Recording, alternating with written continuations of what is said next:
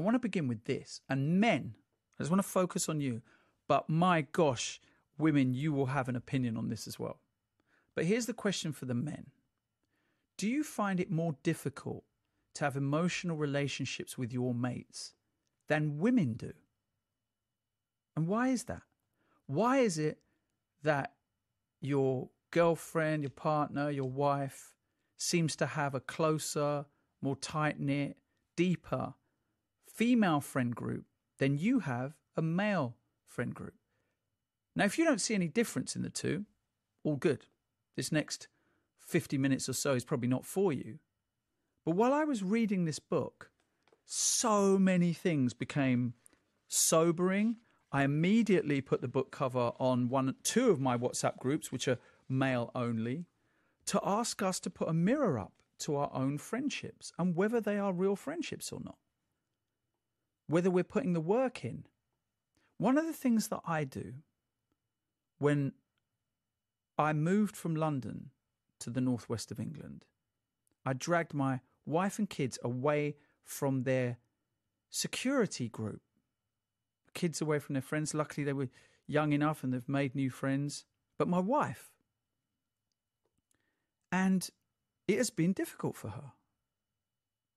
And one of the things that I've said to myself, and perhaps lied to myself, and after reading this book, maybe I have lied to myself. And men, tell me if you can relate. Is that, oh, well, women need friendships more than men. They need to speak to each other all the time. We don't need to do that. We can spend six months away and then just pick up where we left off. Reading this book, I'm not sure that's the case anymore. And maybe, as indeed Max Dickins, who wrote this brilliant book, said, a lot of this is about being in denial, lying to yourself, thinking that you don't need the things that actually your wife, your girlfriend, your partner does need, and they're very open about it and they talk to their friends about it. And do men. So indulge me. Tell me, do you think you have as strong emotional relationships with your mates as your wife, your girlfriend, your partner does with her female friends? What do you think? 08085 909 Text me on 85058. Tweet us at BBC5 Live. Max Dickins, welcome to the show, sir. Oh, thank you so much for having me, and thank you for sharing my book on your WhatsApp groups. That's amazing. well, it's I just realised that a lot of these guys. Okay, here's the thing, Max. Is Yeah. We got loads of pals, mm. right? If we want to get on the banter bus, we got, we've all got tickets, right? it's good, right? But when it gets a little bit darker, when I'm a little bit more emotionally in need of someone to talk about, talk to, sorry, about usually what's going on with my wife and I, Yeah. or how unhappy I am at work or life, that that group shrinks considerably. It shrinks. But Max, let, let's start with you because this is, after all, this hour is about you. Um, why did this come into focus for you? What was it about falling in love, deciding to get married, Yeah. that brought this into focus? Well, I think friendship, you don't really think about it until you need it, especially if you're a guy, because we don't really talk about this stuff. We don't really think about our friendships, don't really talk about them. So my situation was I was planning on proposing to my then girlfriend. I went as far as going into a Hatton Garden jeweller's to look for a ring with a. Surrounded by other men, surrounded looking by other men, all- equally lost. Yes, I, I read in going, I got no idea. Emerald, diamond, gold, platinum. Someone save me. Wandering around, wide-eyed, punch drunk. Um, and then we, we sort of had a look, and then we went to the pub afterwards. Me and a female friend who I took basically to hold my hand and show me what to buy. And she said, "So, you know, you're going to propose. Who's your best man going to be?" And I fobbed off the question. I thought, "Oh, my mind's just gone blank. It just must be in the moment, you know." And I went back that night, got a bit of paper out. Went, "Right, who are my top ten male friends?" And it took me ages. And when I looked at the list, I worked with most of them, and I don't think they'd be comfortable with me asking them to be my best man.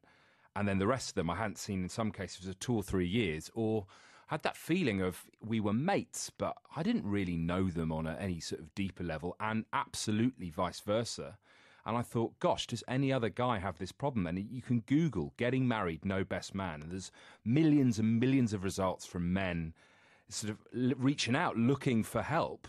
And there's tons of stats. So the Movember Foundation recently did some research. One in five men say they've got no close friends. If you ask a group of men, how many people they have you said got? one in three, didn't they? What, one in three, right? Yeah, so, that's right, yeah. So, oh, so there's another survey as well. One in five, one in three, even worse. Yeah, That right. same Movember survey asked to guys who can you talk to about anything serious like health worries, money worries, relationship worries. Half of them, so one in two, could think of nobody at all, and that is, I mean, it's not healthy, and it's not great for uh, just for us, our sense of well-being, our happiness, our, our our our juice in life. So I set about going, well, how do I find a best man? But really, it was a bigger question: how do I solve my friendship problem and become the sort of man that people can be friends with? Fascinating. Right, come back to that in a little bit, Max. But Hmm. before that, let's cross to the Oval One Day International. Ellie is there, watching, uh, going going swimmingly for England, I believe. It's going brilliantly. Yes, they've lost three wickets in the first 15 minutes of this game. Uh, Jason Roy, Joe Root, Ben Stokes all back in the pavilion with ducks against their name. Jasprit Bumrah's taken two. Uh, Mohamed Shami's taken the other. Two catches for Rishabh Pant. Jonny Bairstow is still there. He's on five. But England are seven for three in 2.4 overs. This is the first of three ODIs that England and India are playing over the next uh, few days. And uh, England, of course, will be in India next year to defend their 50 over world title. But uh, yeah, India are, I think you'd say, well and truly on top so far here, Nihal. Uh, where are you positioned in comparison to the Bharat Army, the always the very noisy, the brilliant Bharat Army who support India wherever they go? I think there are, there are pockets of the Bharat Army spread around. Actually, there's definitely a, quite a good pocket just in front of me here in uh, the JM they're Fin having stand. fun. So so down, down to the right. Yeah, that, I think I don't think they've actually completely woken up yet. I think they've entirely realised what's going on because it's just so ridiculous. But but cru- crucially on a day like this, Nihal, I'm positioned in an air-conditioned commentary box, which is extremely nice because it is sultry out there. It is warm, it's humid, it's not all that sunny. Um, and England, are, well, they're sweating out there at the moment. Uh, not bad playing conditions for Indians then. Not at all. thing. Okay, Ellie, thank you. We'll come back to you later on. Ellie Oldroyd there at the Oval for England's first one-day international against India. Back to Billy No Mates. This is the name of the book. How I Realise Men Have a Friendship Problem. So that's interesting. Those surveys. Okay, loneliness. Right, it's an important word here, but I think you make a fascinating distinction between rather than comparing genders. You know, are men lonelier than women? Are women lonelier than men? You ask this question: How are men lonely? Yeah, absolutely. So, um, men's loneliness, um, there are certain risk factors that affect everyone in terms of you're more likely to have less friends if certain things happen, for example, retirement or bereavement or divorce, or you move to a different place. But if you look at the stats, post divorce, post bereavement, post retirement, loneliness affects men a lot more than women because um, they tend to rely on work and on their wife or girlfriend for their social network, for their friendships. So when you get untethered to those things, then you're left much more isolated. And and it, men face two problems with friendship. One we've kind of explored. They might have lots of mates, pub mates, football mates, but they lack intimacy, like that real closeness in their friendships. And as they get older, their their social network shrinks. And it shrinks much more than women does because men seem to be not quite as good at maintaining friendships and also at building new ones. Yeah, so let's let's talk a bit more about network shrinkage, which is nothing to do with your mobile phone provider, is it? Um, in our twenties, men have bigger friendship groups. Is that right? Yeah, so if you look at the at the data, men te- seem to have bigger social groups than women in the mid 20s. By the time they got into their mid 40s, that's flipped on its head. It's completely reversed. So a number of people have already got in contact with us. Joel has tweeted me. Hi, Joel, saying, "Great debate this hour. Guys with a communication problem often have that compounded if they are single." Um, and also, Neil Core has just pointed to me towards a piece um, that's on YouTube called "The Best Man: Male Friendship in the 21st Century." It is something that is out there, but something we're singularly bad at talking about. Yeah, I mean that's also kind of the problem, right? This is where it all comes down to. We won't talk about the issue, and because we can't talk about things full stop, maybe we never get we never get off the banter bus and go into uh, I don't know intimacy petrol station or however you want to phrase it. it's quite. um, okay, friendship has a rhythm, and I had lost it. Talk, talk to me about that in Yeah, book it's- when you say that. So, um, what I mean by the friendship rhythm is you're in the habit of messaging people, meeting up. Those meetups lead up to another meetup. You're texting. There's there's a momentum to it. There's th- there's the habit of having friends you're up with. Once you get out of the habit, it's a lot harder to get back into it. And I found that these friends I hadn't seen for ages, I'd kind of opted out of those friendships to focus on other stuff. And because I wasn't in the loop there, if I wasn't in, in the habit of contacting them, and especially vice versa, you just stop getting asked to parties if you don't turn up to them ever. I, I found that it felt almost starting again in my in my thirties to kind of get back to that sense of uh, momentum. So, what do you think of you know what I said at the beginning was that, and reading this book has made me question whether I'm being true to myself or not, as indeed many times throughout this book you question whether you're being true to yourself or not. Hmm. Is this idea that well, women need their friends more than we do, right? So, yeah, of course, my wife needs to speak to her mates every day. I thought I didn't, Yeah, but I th- ac- actually I think I do. Yeah, well, that's exactly how I felt now. And I mean, on, on, on the one hand, you can look at stats around male mental health. They're pretty well known now. So, suicide, the biggest cause of death of men under 45. We've, we've had this conversation a lot. Men, men don't talk about stuff, but they don't have people to disclose to, to invest to, apart from maybe a wife or girlfriend who what we'll call our wives often now, our best friends. And that's brilliant, but we don't have other avenues. There is another angle here, though, which I think is interesting. Do men need those close friendships? I think they absolutely do. People they can disclose to, have these proper conversations with. But men also, I think, define what closeness looks like sometimes differently to women. So, you know, I got an email this morning from a, a man who'd read something I'd written, and he's in the army. And he said, you know, being with my um, comrades on the battlefield or going through that process, that felt to me like real intimacy. Now, they weren't talking about their feelings all the time. And I think there's a lot of merit to that as well. But men definitely need some avenues for this other sort of deeper conversation. Well, I found it fascinating though that when you talked about a friendship with Jules at university, Yeah. right? Lurking here, however, is an assumption that close friends are the people you bare your soul to. But when I thought about my friendship with Jules, you write in the book, Max, without doubt, one of the most meaningful of my life, talking about our feelings, barely came into it. Yeah, absolutely. So Jules um, was somebody I was in a. I met through on the stand-up comedy circuit. We were in a then entered a double act, and we were doing tour shows, Edinburgh festivals, bits and bobs of TV, and that shared adventure, that sense of oh my gosh, we're doing it, we're doing the thing we always dreamed of, and seeing us ourselves actually really vulnerable, rather than talking about our feelings, showing each other being nervous, being scared, being exhilarated by what we were experiencing. That closeness was a very different sort of closeness, but maybe one we don't recognize. And if you look at the those stats we talked about, Nihal, about you know one in three men have no close friends, and those questions about who can you talk to serious stuff about. That sort of closeness is not reflected in those stats. And so maybe we don't understand male friendship in the 21st century. It's, it's, I had a, so pertinent to this conversation, Max, that I was talking to my son who's 14 about this this morning, and he was talking about how men need to be resilient. Mm.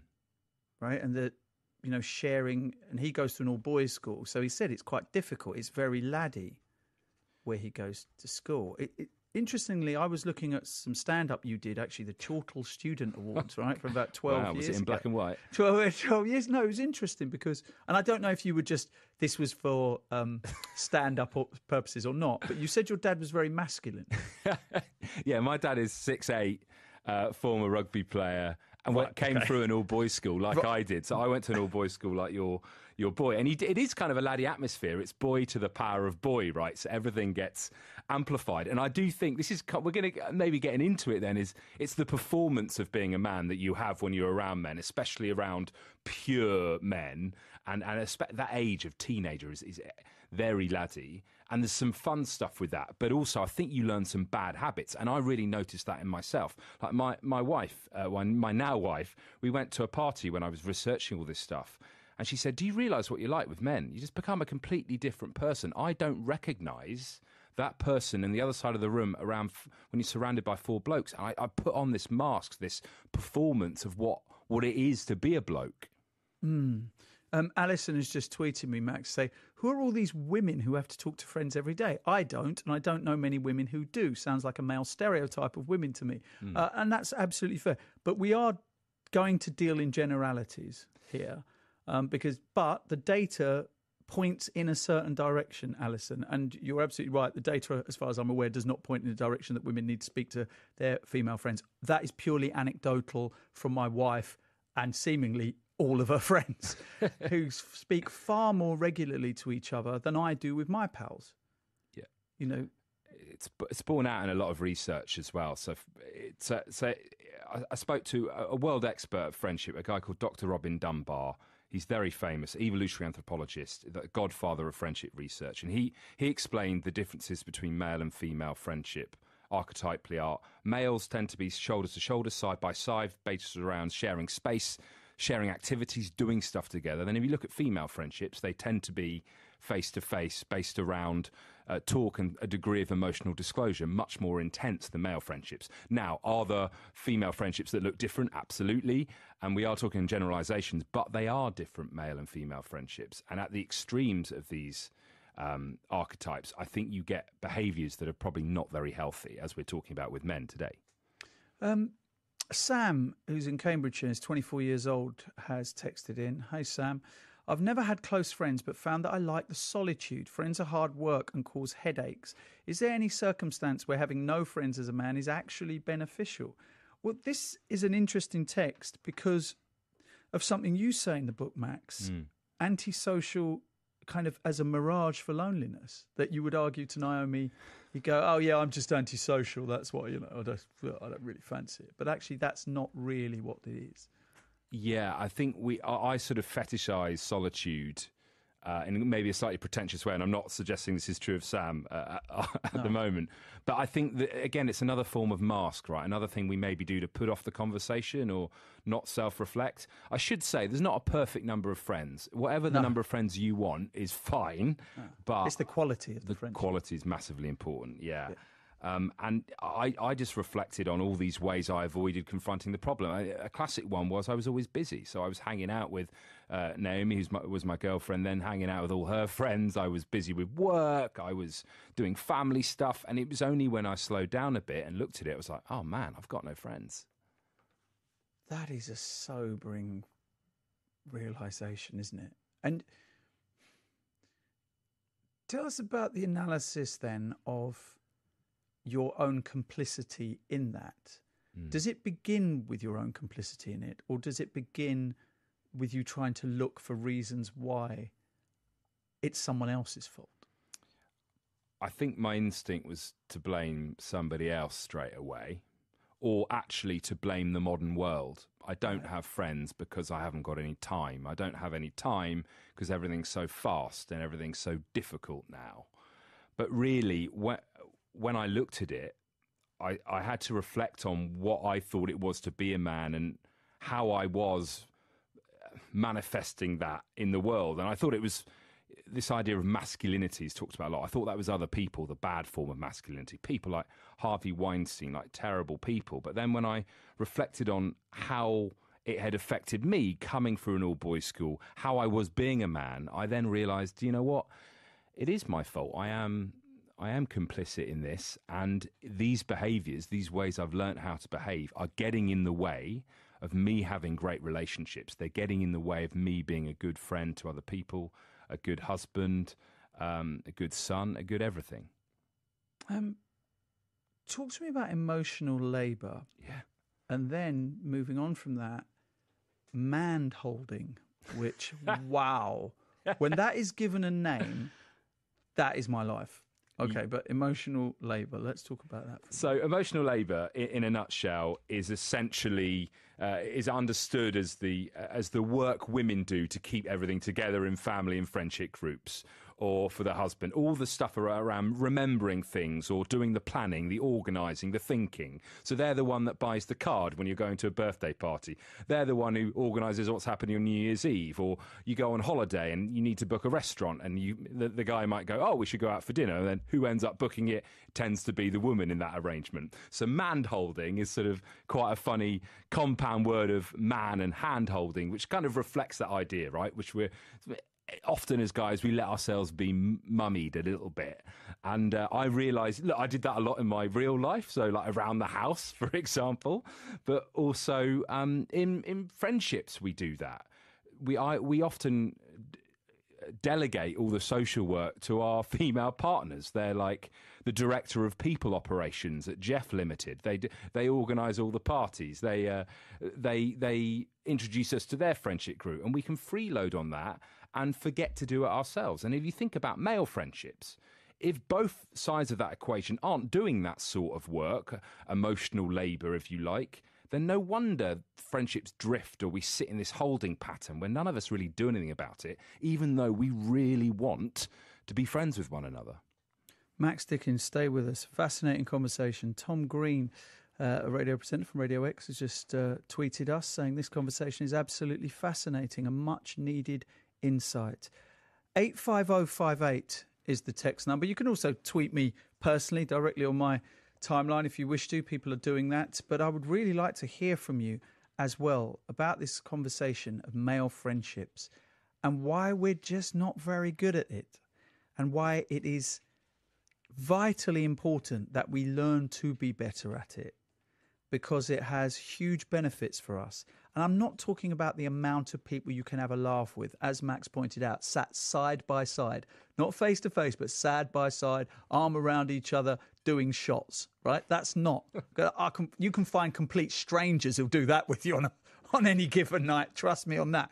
I'm talking about something deeper, something more emotional. Think about a man in your life that, if it was all on top, if you were sad, if you were low, if you felt bereft in some way, that you would call up. Now, if you're struggling to do that, then we definitely have a problem.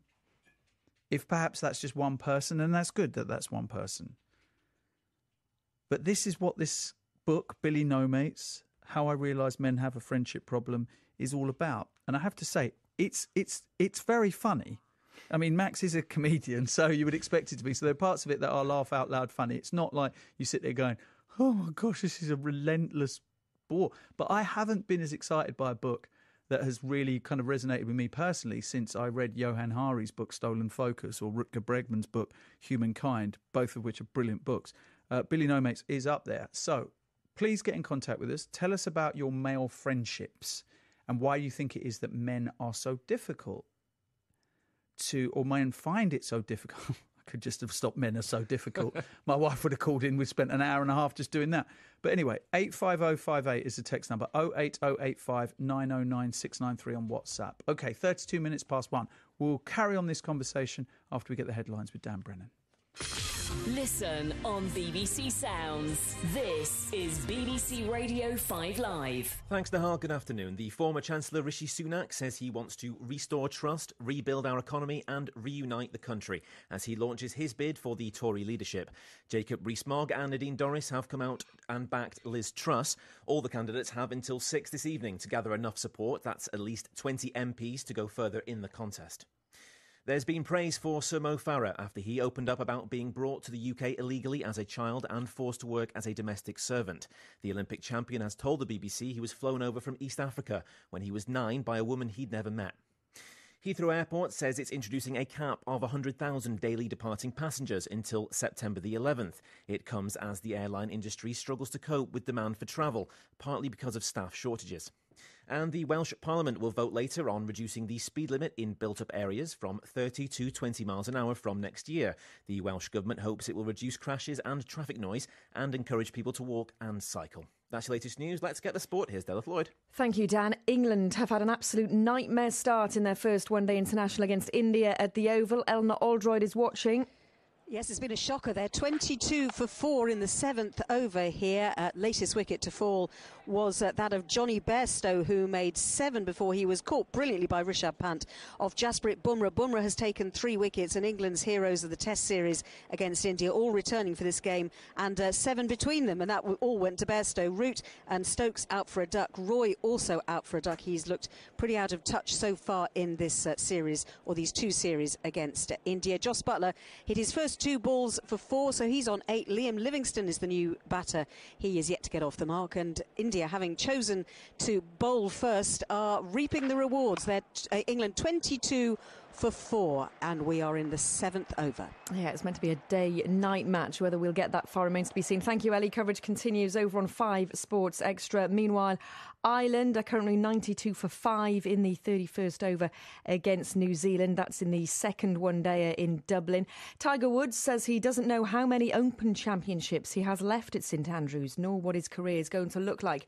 Woods still has some lingering effects of the severe leg injuries he suffered in a car accident in February last year. The three time Open champion who triumphed at St Andrews in 2000 and 2005 is, though, happy to be there this week.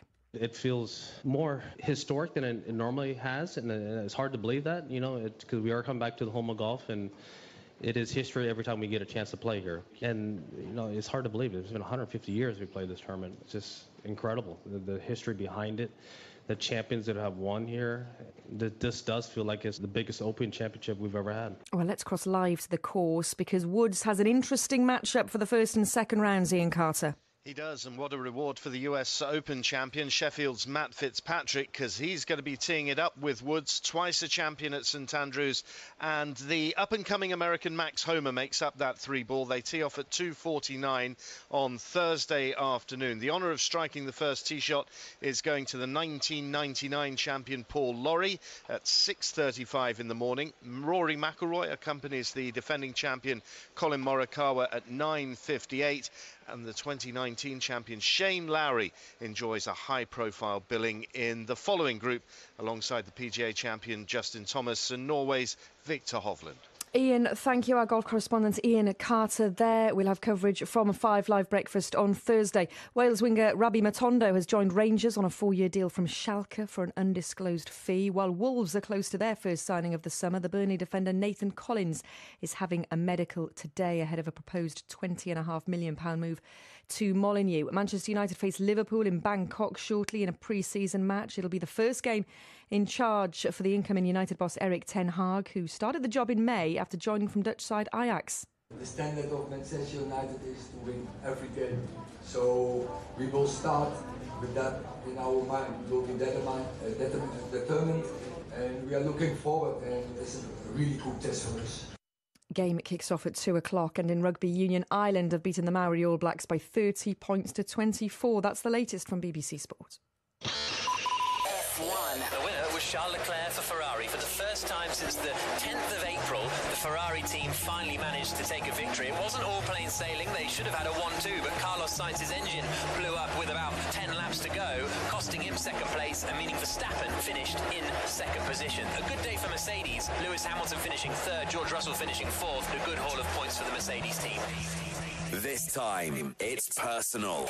F1. Get reaction and analysis from the Austrian Grand Prix with Five Lives Checkered Flag podcast. Leclerc takes the victory and closes the championship advantage on Max Verstappen. Available now on BBC Sounds. BBC Radio 5 Live. I listen every day. I trust the presenters. There are lots of people calling us tonight. Bowls to Stokes who hammers it for four. The voice of the UK. Nihal Arthur BBC Radio 5 Live.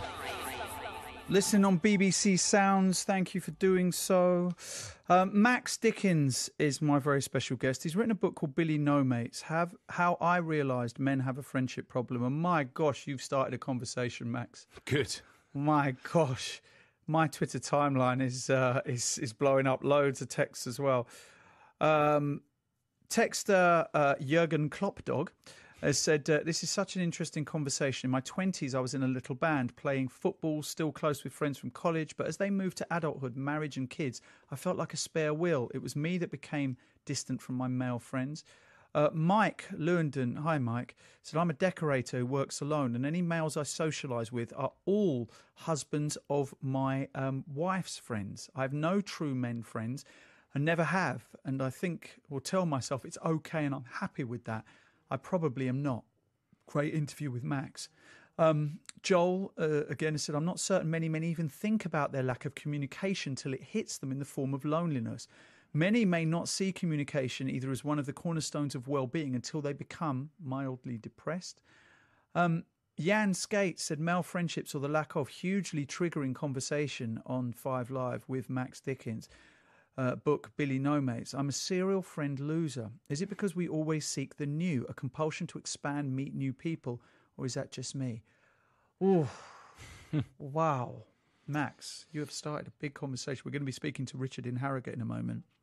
But did you think, I mean, you've already said this actually, that when you couldn't find a best man, you may have initially thought, geez, this is me.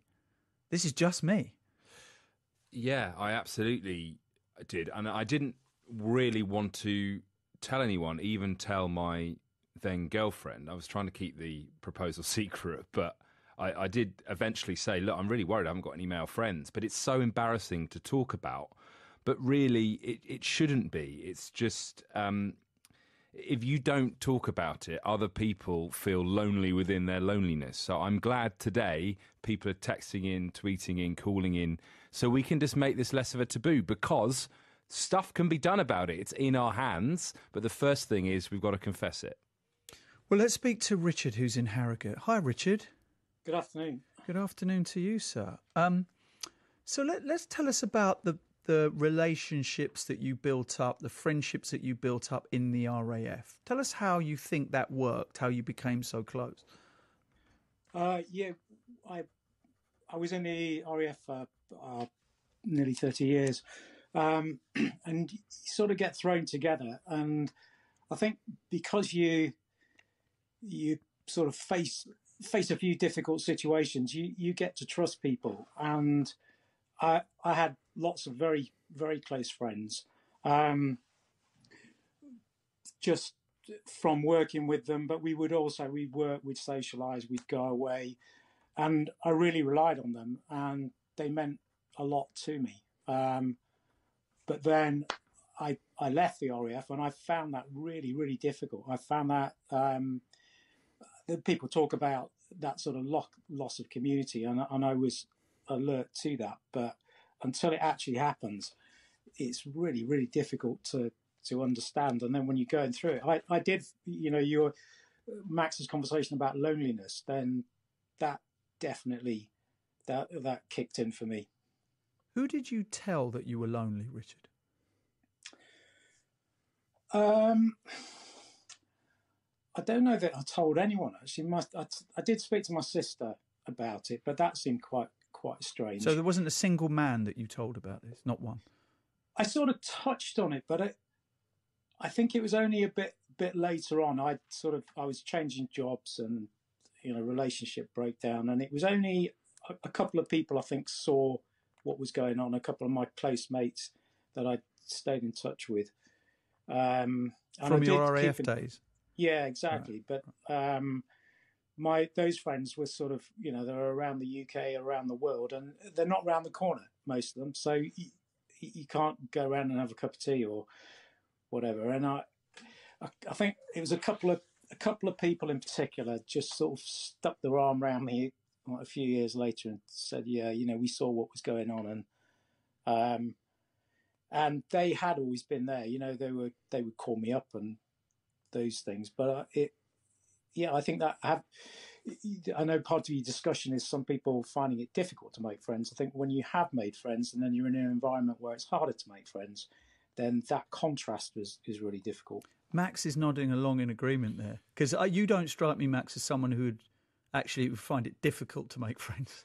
Yeah, I'm pretty outgoing, and I'm. Uh, he said, having literally written a book called Billy No Mates. yeah, but that but that's the point, isn't it? Yeah, It's about connecting with people is one thing superficially. It is, and to speak to Richard's point, Richard, thank you for sharing your story. It's really interesting, and, and thank you for, for, for being so vulnerable.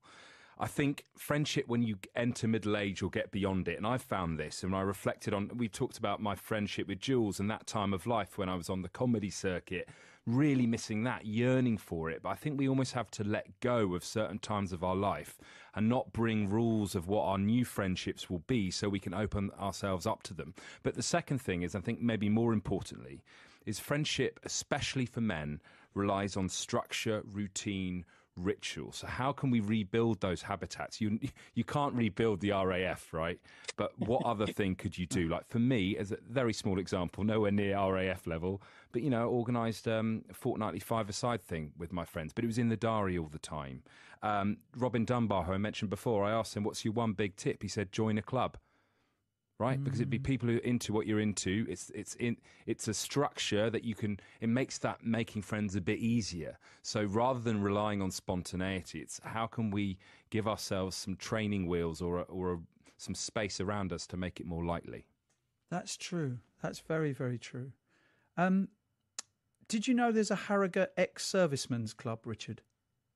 Uh, I did, and I I haven't been along to it. I I sort of I don't know. In some ways, when you leave, you leave. Is is sort of the way I look at it, and it's almost like trying to hang on to the past. It's interesting what Max says about let go of the past, but then I had a a conversation last week, uh, completely unrelated, where someone said, "Oh, are you a member of any clubs?" and and I'd always been members of club, clubs, a member of clubs, and I wasn't. And I think it was only that, that start question of, "Are you a member of a club?" and just saying no, and it I don't know. Maybe maybe that is the way the, the for the future. Mm, mm. But it's not.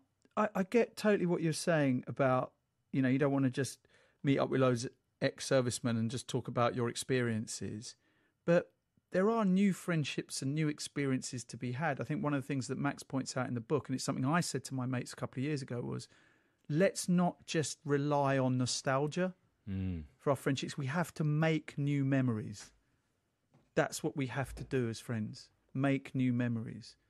And just going to an ex servicemen's club, Richard, means that you could meet people that you could make new memories with. Doesn't necessarily mean you'd sit Yeah. there talking about your time in the RAF. yeah, yeah, yeah. Doesn't, doesn't necessarily mean that.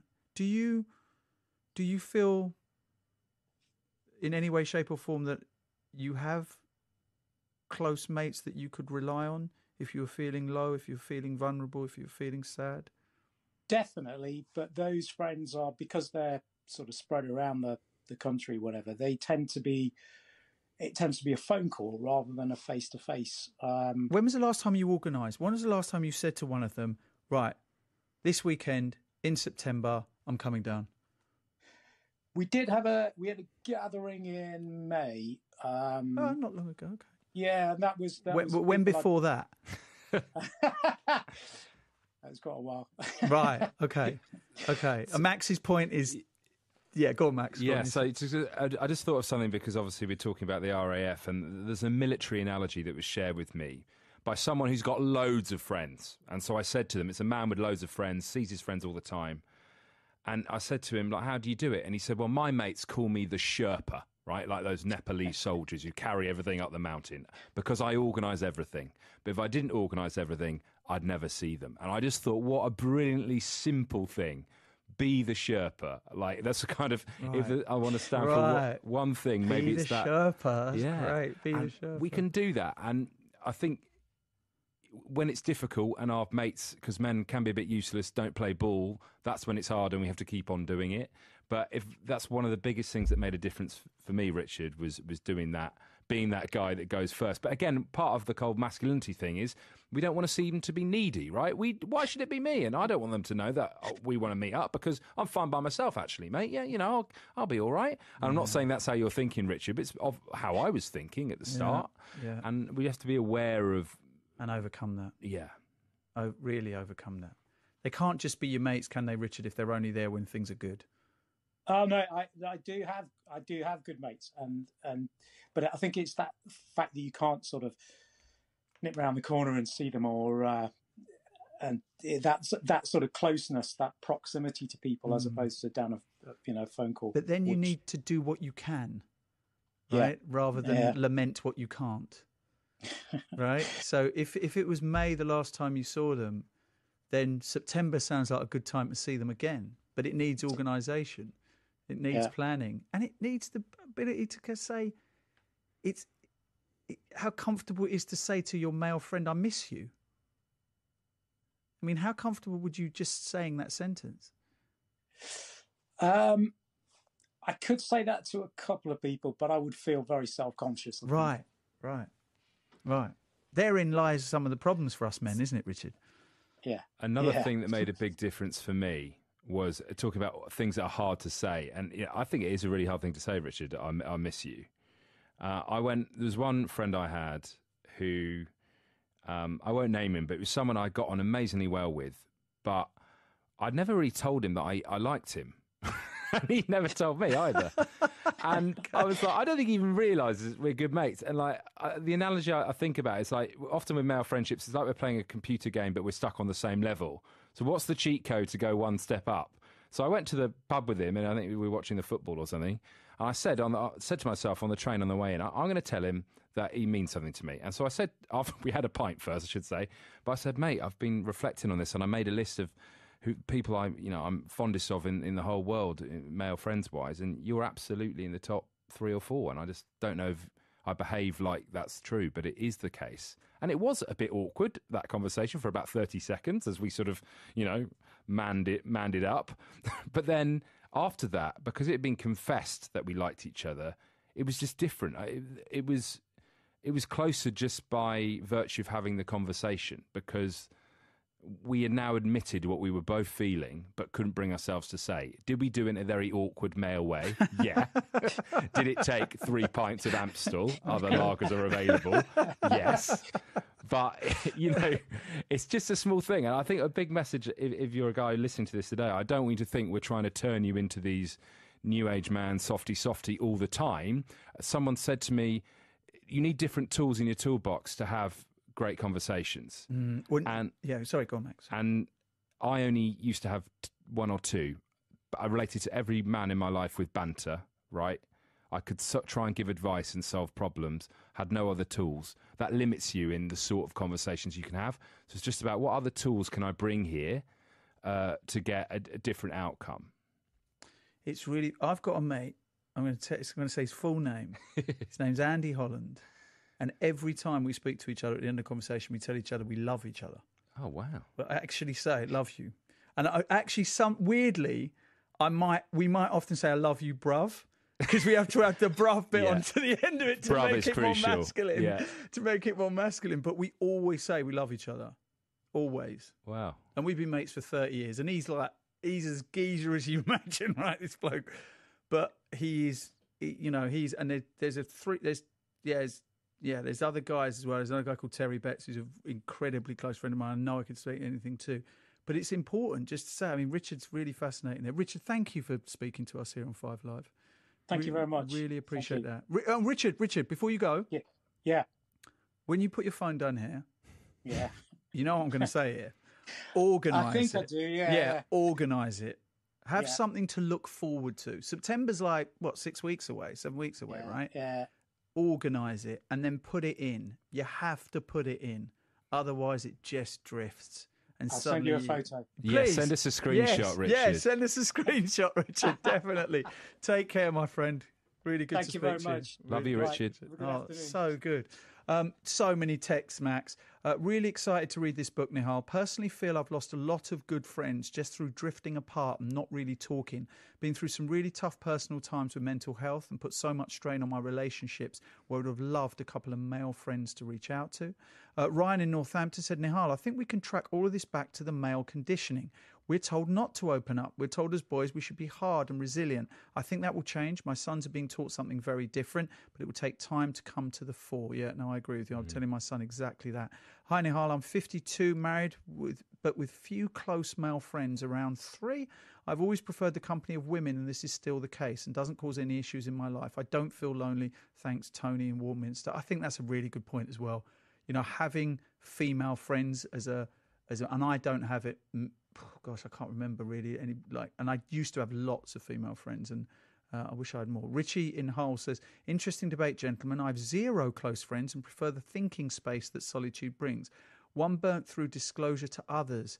It does make one reluctant to engage."